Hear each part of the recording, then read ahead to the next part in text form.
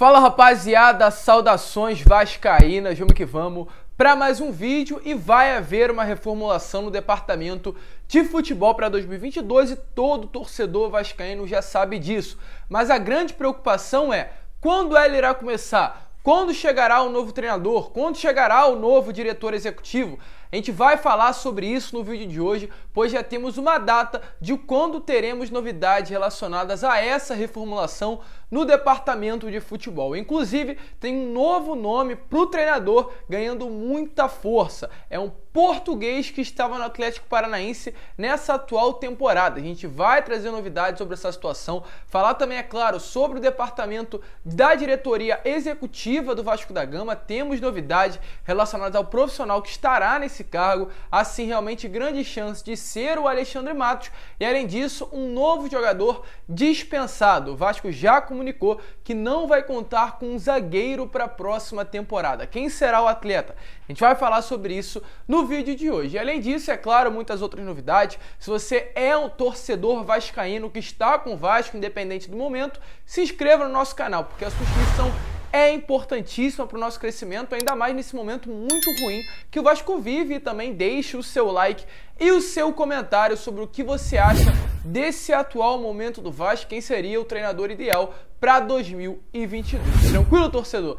Mas vamos lá, né? Sem muita enrolação, falar logo de Vasco da Gama e antes trazer novidades sobre essa reformulação no departamento de futebol, sobre o novo diretor executivo, sobre o novo coordenador técnico, sobre o novo treinador. Eu quero trazer aqui uma notícia relacionada ao Bruno Gomes, pois ontem o atleta não esteve presente na partida né, contra a equipe do Vila Nova, pois, segundo ele mesmo, teria alguns problemas pessoais e, devido a isso, o Vasco afastou ele dessa partida e deixou ele ausente do jogo aqui no Rio de Janeiro. Porém, no mesmo dia, ontem, ele saiu com a sua namorada, comemorou ali o aniversário dela, postou algumas fotos no seu Instagram pessoal, é, comemorando essa data especial de fato para ele e foi muito criticado por isso. Inclusive, hoje, eu, pela parte da manhã, falei sobre esse assunto e critiquei, é claro, não o jogador, mas o departamento de futebol do Vasco por ter tomado essa atitude, ter liberado o atleta para ele comemorar o aniversário da namorada ao lado dela. Porém, hoje, pela parte da manhã, segundo o canal Atenção Vascaínos, tem que sim ser, aliás, dar crédito a quem trouxe a notícia, o staff do volante se posicionou, no caso o staff do próprio Bruno Gomes, dizendo que foi liberado pelo próprio presidente Jorge Salgado, ele mesmo que deu o aval para liberar o atleta dessa partida contra o Vila Nova, devido a um grave problema que está acontecendo na família do jogador. A gente, é claro, ainda não tem notícia do que está acontecendo, é um problema pessoal, mas hoje ele já retornou aos treinamentos no CT Moacir Barbosa. E falando em treinamento, né, já que já explicamos essa situação do Bruno Gomes que ficou muito mal entendida por parte da torcida vascaína, tivemos aí dados importantes de ser falados e muito ruins, que o Bruno Gomes também faz parte desses dados negativos, né, para o torcedor vascaíno relacionado a essa temporada de 2021. Para vocês terem noção, é algo relacionado ao sistema defensivo da equipe Cruz Maltino. O Vasco, na Série B do Campeonato Brasileiro, sofreu gol de todos os times que enfrentou.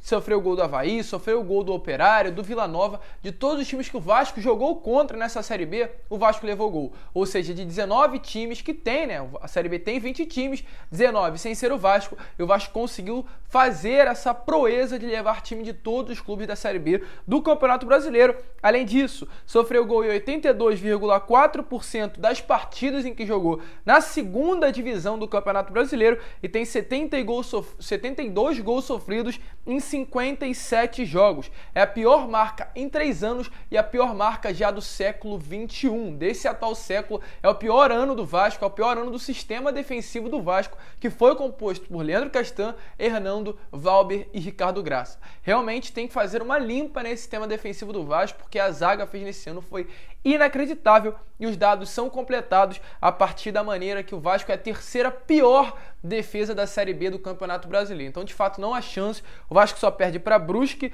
Náutico e empata com Confiança e Brasil de Pelotas com 47 gols sofridos nessa Série B. Então, é de fato algo inacreditável, um fator que preocupa e vê se a necessidade de haver mudanças nessa próxima temporada, principalmente nesse sistema defensivo.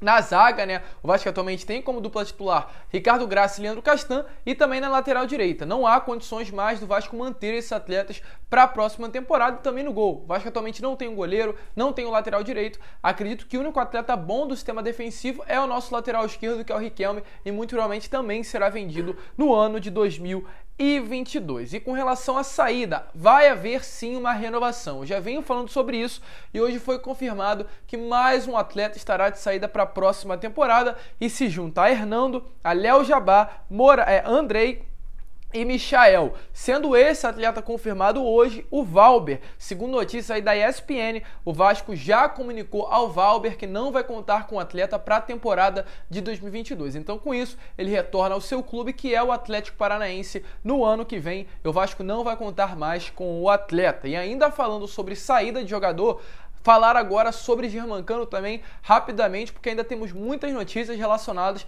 ao departamento de futebol do Vasco, né? A base aí desse, dessa pasta de futebol do gigante da colina. Ontem tivemos aí notícias do Paulo Brax. Para quem não conhece, o Paulo aí é o executivo de futebol do Internacional. Em entrevista a um canal aqui do YouTube, o mesmo revelou que o Germancano foi oferecido ao Inter, mas foi recusado a proposta feita pelo empresário do jogador. O empresário teria pedido um salário salário entre 400 e 500 mil reais mensais e logo de cara foi negado pelo Internacional essa alta quantidade de salário a ser paga ao atleta. Então, com isso, dessa forma, o Internacional praticamente rejeitou e o nome do Germancano foi descartado pela diretoria gaúcha. Então, a gente ainda, é claro, não tem mais notícias sobre essa situação, mas o Germancano, caso não venha estar no Vasco da Gama, ano que vem dificilmente vestirá a camisa do Inter e também do próprio Ceará, que já teve confirmada a recusa pela, alto, pela alta proposta, né, o alto, alto valor pedido pelo empresário do jogador a ser pago mensalmente o salário. Não sabemos se ele vai permanecer ou não no Vasco. Ele quer permanecer, eu já venho falando sobre isso nos meus últimos vídeos, mas também tem esse embrólio da dívida de 4 milhões de reais de salários atrasados de 13 terceiro do Vasco com o atleta. Após ser pagado esse salário, aí sim o Vasco vai entrar no mérito da renovação com o argentino.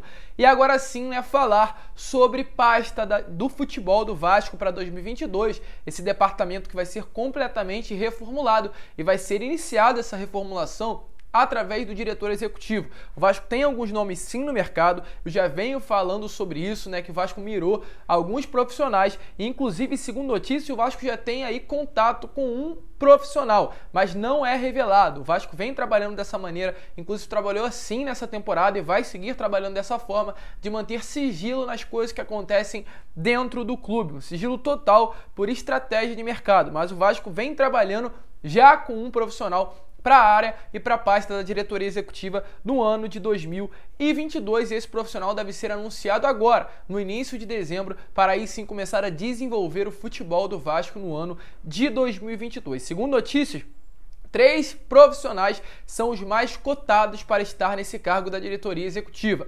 O Alexandre Matos, que esteve no Atlético Mineiro e eu venho comentando muito sobre o mesmo. O Marcelo Teixeira, que eu falei no vídeo pela parte da manhã, que estava no Fluminense, foi o último clube onde ele trabalhou. E também o Rodrigo Pastana, que esteve no Cruzeiro nessa temporada. Volto a repetir, o anúncio oficial deve acontecer agora, no início do mês de dezembro. E o Jorge Salgado já vem conversando de maneira forte com esse profissional para que em breve venha ter um desfecho positivo para o Vasco da Gama. Um desses três, com certeza, será anunciado para essa pasta. E após fechar como diretor executivo, aí sim que o Vasco vai firme no mercado atrás do seu novo treinador. O Vasco vai trabalhar dessa maneira nessa atual temporada. Primeiro, trazer o diretor executivo, depois trazer o treinador e aí sim, após contratar esses dois profissionais, começar a trabalhar no elenco de uma maneira geral. E segundo notícias, um, um, profissional já vem né, tendo força dentro da atual diretoria, mesmo ainda não tendo um diretor executivo, a diretoria já tem alguns nomes que o agradam de maneira maior. Né? E no caso, segundo notícias, esse profissional seria o português Antônio Oliveira, que estava no Atlético Paranaense nessa última temporada, e inclusive antes do Vasco fechar com o Fernando Diniz, ele recebeu o contato do Vasco da Gama para fechar com o clube no restante Série B, mas as negociações acabaram não andando, a gente ainda não tem motivos explicações para que não pudesse ter um desfecho positivo para o Vasco, mas ele chegou sim a ser cotado como treinador para pegar o Vasco no restante da Série B antes mesmo do Fernando Diniz fechar com o gigante da colina. É um nome que tem muita força e segundo notícias aí ele que esteve presente algumas semanas atrás no programa Bola da Vez da ESPN revelou que tem o desejo de retornar ao futebol brasileiro, retornar aí a comandar uma grande equipe do nosso futebol. Deixou bem claro que foi feliz no momento que trabalhou aqui no nosso futebol. Ele disse o seguinte: foi uma experiência fantástica estar no Brasil. Ele já tem quase dois anos aí, porque trabalhou durante o período no Santos e depois conseguiu trabalhar de maneira permanente como treinador no Atlético Paranaense e disse a seguinte frase: Tenho uma enorme vontade de regressar ao Brasil e fazer uma equipe voltar à rota dos títulos. Algo que realmente se assemelha muito ao Vasco, ainda mais pelo fato dele ser um treinador português, poderia ajudar para que acontecessem as negociações entre as duas partes. Além disso, a diretoria vê no Antônio Oliveira a característica perfeita para o treinador da temporada de 2022. Segundo notícias, o presidente João Salgado quer que o treinador de 2022 tenha uma característica diferente, não daquele treinador que realmente vai de frente com os jogadores, mas um treinador que exerce uma liderança através do diálogo, não com gritos, de uma maneira popular, né, no soco da mesa, com o soco na mesa, como o Fernando Diniz trabalha, o Lisca trabalha, mas um treinador que converse mais e grite menos. E vê no Antônio Oliveira completamente essa característica que estaria de acordo com o que o Jorge Salgado pensa para a próxima temporada para o cargo de treinador, porque somente dessa maneira, com a união entre futebol, diretoria, jogador e comissão técnica, o Vasco possa sair desse buraco que atualmente está. E além desses dois profissionais, o Vasco também vai buscar um coordenador técnico e também para outra função, uma função aí de treinador Aliás, uma função de um profissional que auxilia aí no comandante né, para a próxima temporada. E ver, primeiramente, para essa função o Fábio Cortez, atual treinador interino, não tem chance nenhuma dele ser mantido como treinador para a próxima temporada, mas ele pode atuar tendo um papel importante né, na futura comissão técnica que será formada no Vasco, auxiliando aí né, esse novo comandante, que pode ser sim, inclusive, o Antônio Oliveira. Há um entendimento que o Fábio Cortez, volta a repetir, atual treinador interino, possa trabalhar aí ajudando os jogadores das categorias de base a chegar na equipe profissional. E além disso, também o novo coordenador técnico que o Vasco busca no mercado já tem três nomes muito fixados para essa posição. Ou o Felipe, que atualmente treina o Bangu, ou o Pedrinho, que atualmente é comentarista de uma grande emissora, ou até mesmo o Luizinho Quintanilha. Ex-jogadores que estiveram aí fazendo, marcando passagem no Vasco da Gama, podem voltar para o clube agora trabalhando como coordenador técnico dentro do vestiário, sendo ali realmente o atleta que vive o Vasco da Gama, que sabe o tamanho e a grandeza do Vasco e vai passar isso para os atletas que estiverem no ano de 2022. Agora basta realmente o Jorge Salgado conversar com esses atletas, mostrar o projeto para que eles possam aí realmente o que fechar, servir como referência para esses jogadores na próxima temporada. Agora, o papel de Jorge Salgado é tentar convencer um dos três para estar exercendo essa função no ano de 2022. O Vasco vai se reformular e luta forte, tá no mercado para que isso aconteça o mais rápido possível e a gente vai cobrar. Essa reformulação, na minha opinião, já está demorando há muito tempo para acontecer, porque a Série B já acabou, o ano do Vasco já acabou e já deve ser pensado em 2022 o mais rápido possível. Mas esse foi o vídeo, torcedor. Se você estiver claro, se inscreva no nosso canal, porque a sua inscrição é importantíssima para o nosso crescimento também. Torcedor, deixe o seu like. Vasco vive um momento muito ruim. A gente precisa da sua ajuda para crescer aqui nessa plataforma. Então se inscreva, deixe o seu like e também compartilhe esse vídeo para que cada vez mais torcedores vascaínos possam ter acesso aqui ao nosso conteúdo. Um grande abraço a todos, vamos que vamos. Fiquem com Deus e é claro, como sempre falo aqui no canal, um grande abraço e saudações vascaínas.